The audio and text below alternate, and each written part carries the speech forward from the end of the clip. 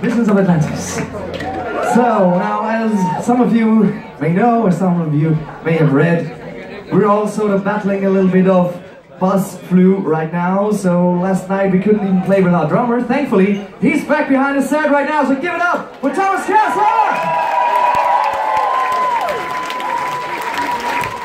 So, and we have a brand new album out, was released yesterday, so of course, we can't help but to do a few songs off this brand new record. And the next one is called Book of Richa. Ja.